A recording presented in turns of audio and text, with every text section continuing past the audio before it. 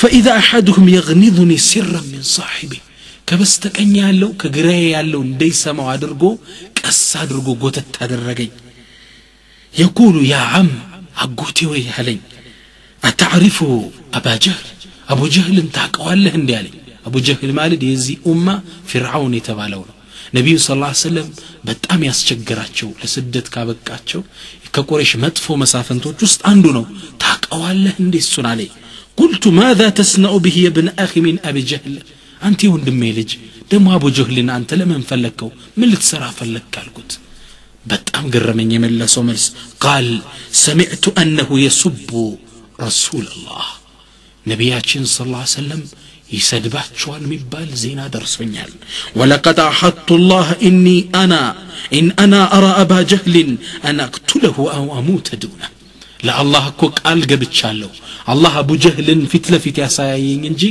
السل قال ويما فيت لفيت للسوابية لالله لا الجب تشالو اسايين ومن علي تنكتك قر من على عبد الرحمن بن عوف واذا بالاخر يغمضني سرا من صاحبه كبستك ريال لو دمو كبست قنيا لو ندي سما درغو قص درغو لبسي نساب زور الكت فقلت من فلقن وانت وندمي سلو يا عم أتعرف أبا جهل؟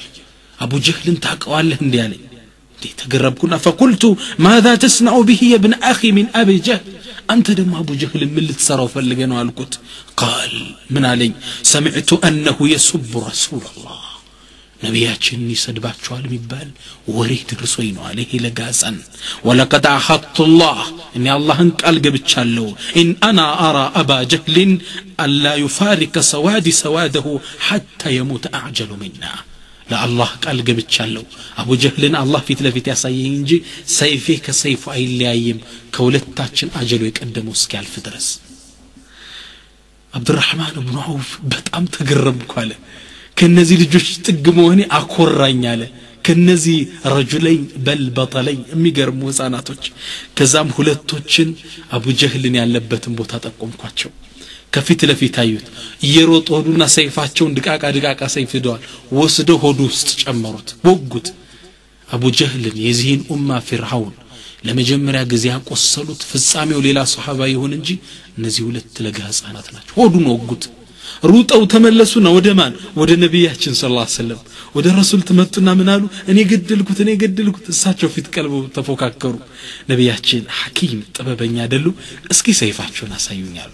ሁለቱም ሰይፋቸውን ሲያወጡ ሁለቱም ጋር ደም አለ። አይ ሁለታችሁን የገደላችሁት ሁለታችሁም ጀግና ናቸው አላቸው። ለኢስላም ለመስራት እድሜ አይወስነው እነዚህ ለጋይ ሰሐባ ህፃናቶች የዚህን ኡማ ዋናውን የነቢዩን ጠላት ለመጀመሪያ ጊዜ ያቆሰሉት በል የገደሉት እነዚህ ህፃናቶች ናቸው። እድሜ ለኢስላም ለመስራት አይወስነው እንዲህ አይነት ጀግና ህፃናቶች አሁንም ፍልስጤን ምድር ላይ ይገኛሉ። ድንጋን በድንጋይ ታንክ የሚያቆሙ ለን ተሙር ይሉታል።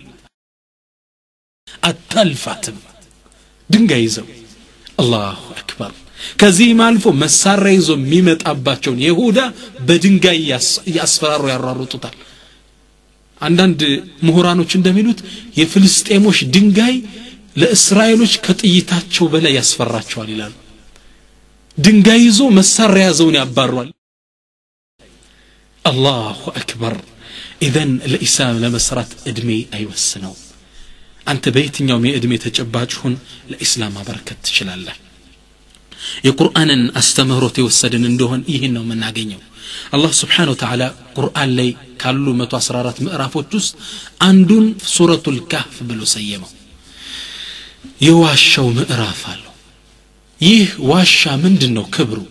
እዚህ ዋሻ ውስጥ ያረፉ ወጣቶች ነበሩ። በዲናቸው ሸሽተው እዛ ዋሻ ውስጥ ገብተው ለመሸሸግ በአላህ ዲን አምልጠው እዛ ዋሻ ውስጥ ገቡ አላህ እዛ ውስጥ እንቅልፍ ጣለባቸውና ሶስት መቶ ዘጠኝ ዓመት አስተኛቸው እነሱ በተኙበት ዋሻ አላህ ምዕራፉን ሰየመው أم حسبت أن أصحاب الكهف والرقيم كانوا من آياتنا عجبا إياله ስለ እነዚህ ዋሻ ሸሽተው ስለገቡት ስለሚያከብራቸው ሰዎች ሲናገር ምን አለ አላህ ኢነሁም ፊትየቱን እነሱ ጎ ፊትያ ናቸው ለጋ ወጣቶች ናቸው አመኑ ቢረብህም ወዚድናሁም ሁደን በአላህ ላይ ያመኑ አላህም ቅናቻን ሁዳን ሂዳያን የሰጣቸው ለጋ ወጣቶች ናቸው ይላል። ፊትያ የሚለው ብዙ ትርጉም ተሰጥቶታል ለዚህ ተፍሲር። ትክክለኛው ግን አረቦች አስራዎች ውስጥ ላሉ ወጣቶች የሚሰጡት ስያሜ ነው። ፈታ ይሉታል። ለጋ ወጣት ማለት ነው። ኢብራሂም አለህ ሰላምንም ብንወስድ ገና ለጋ ወጣት እያሉ ነበር። ባቢሎን ውስጥ የሚመለከውን ዋናውን ጣዖት የሰባበሩት። ህዝቦቹ ቁርአን ላይ አላህ እንደጠቀሰው ጣዖታት ተሰባብረው ሲመጡ ጠየቁ እርስ በርስ ተጠያየቁ ምን አሉ ቃሉ መን ፈዓለ ሃዛ ቢአሊሃትና ኢነሁ ለሚን ዛሊሚን ማን ነው ይህም በጌቶቻችን ላይ እንዲያደርጎ የሰራ በእርግጥ እሱ በደለኛ ነው አሉ ከዛ መሀላቸው አንዱ መልስ ሰጠ ምን አለ ቃሉ ሰሚዕና ፈተን የዝኩሩሁም አሉ የተወሰኑ ሰዎች እኛ አንድ ወጥ ወጣት ሲያነሳቸው ሰምተን የذኩሩሁም በመጥፎ ሲያነሳቸው ዩቃሉ ለሁ ኢብራሂም። ኢብራሂም የሚባል ለጋ ወጣት እነዚህን ጣዖቶችን በመጥፎ ሲያነሳቸው ሰምተናል አሉ ኢብራሂም አለ ሰላም ዋናውን ጣዖት የሰባበሩት ገና ለጋ ወጣት እያሉ ነው። ስለዚህ ወጣትነት የዲን መስሪያ ወቅት ነው። እንኳን ከዳዕዋ ልትሸሽበት እድሜ አይወስነው ለኢስላም ለማበርከት በአቅመ ልክ ልትሰራ ትችላለህ። ነቢያችን ስ ሰለም حديث ليمن يلالو نصرني الشباب وكذبني الشيوخ ይላሉ እኔን የረዳኝ ወጣቶች ናቸው ሽማግሌዎች ደግሞ አስተባብለውኛል ይላሉ ሰይድና አሊ የ20 ዓመት ወጣት እያሉ ነበር ነቢ ስ ስለም ሂጅራ ሲሄዱ እሳቸው ፍርናሽ ላይ እሳቸው መስሎ የተኛው ሳዕድ ብን አቢ ወቃስ በ13 ዓመት ነው ስልምናን የተቀበሉት ለጋዎች ነበሩ ከረሱል ዙሪያ የከበቡት ለጋ ወጣቶች ነበሩ አንዴ በሰይድና ዑመር የአሚር አልሙእሚንነት የግዛት ዘመን ህፃናቶች ተሰብስበው ጨዋታ ይጫወታሉ። ኳስ ሲጫወቱ ኳሳቸው ሄደችና ዘላ ህዳ ፀሐይ ከሚሞቅ አንድ የሁዳ ጥግ ህዳ ታርፋለች። ይህን ኳስ ያዘባቸው ሩጠ ሂደው ስጠን ሲሉት ነቢዩን ስ ስል መሳደብ ጀመረ ሙሐመድ እንዲህ ነው እያለ እነዚህ ህፃናቶች ወረራቸው። ረሱል ሲነኩ ትክክለኛ ኢማን ላለው አይችልም ወላሂ ወረራቸው ዘለው ወጡበት እዚህ ይሁዳ ላይ አንዱ ህፃን ራሱን ይቧጭረዋል አንደኛው አይኑን አንደኛው አፍንጫውን ሁለት አይኑን አወጡት ይሄ ወሬ ለሰይድና ዑመር ይደርሳቸዋል ሰይድና ዑመር ምን አሉ ቃለ አልሐምዱ ልላህ الذي جعل من أبناء المسلمين من يغار على رسول الله በነቢ ስ ሰለም ላይ የሚቀኑ ለነቢ ስ ሰለም የሚቆረቆሩ ከሙስሊሞች ከሙስሊም ቤተሰቦች ላይ ያወጣልን አላህ የተመሰገነ ይሆናሉ ረአይት የነቢዩ ክብር ሲደፈር አልቻሉም እነዚህ ህፃናቶች። ለኢስላም ይሁን ነገር አበረከቱ። ከነቢዩ ክብር ላይ ቆሻሻን ጠረጉ።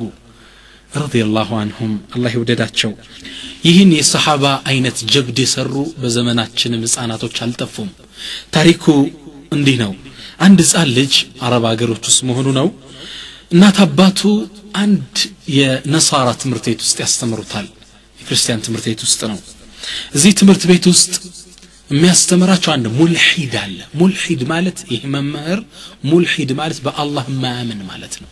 አላህ የለም ብሎ የሚያምን ተፈጥሮ ዝም ብሎ ነው የተገኘ ብሎ የሚያምን ከአላህ መስመር ያፈነገጠ ሰው ነው። ይህ መምህር እነዚህን ህፃናቶች ያስተምራቸዋል። በማስተማር ላይ ያለ ይህን ቆሻሻ አመለካከቱን ውስጣቸው ላይ ሊዘራው ፈለገና ምን አለ?